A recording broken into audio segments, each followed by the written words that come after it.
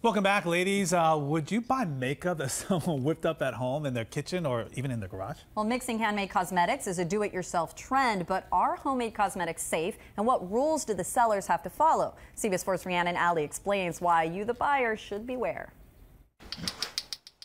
After a local makeup artist offered to create cosmetics that wouldn't irritate her sensitive skin, Marta Countess decided to give handcrafted powder and eyeshadow a try.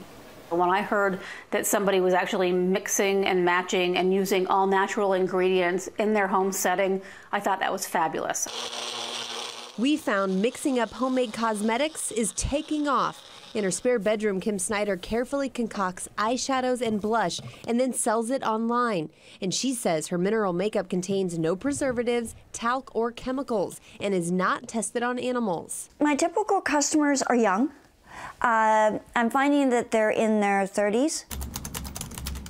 We searched online and found dozens of do it yourself internet entrepreneurs with a range of products, pitches, and prices.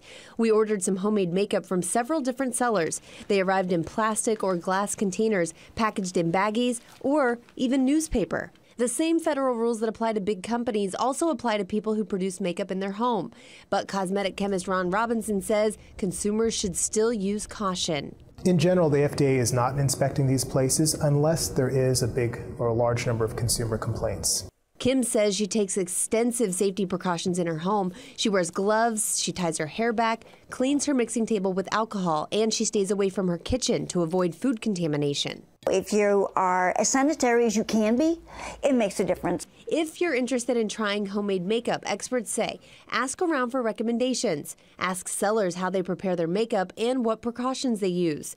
And request a sample and then try a patch on a small area of your hand or your arm. On their website, the U.S. Food and Drug Administration warns homemade cosmetic makers they have a legal responsibility for the safety of their products, and the packaging and labeling cannot be deceptive. Rhiannon Ally, CBS 4 this morning.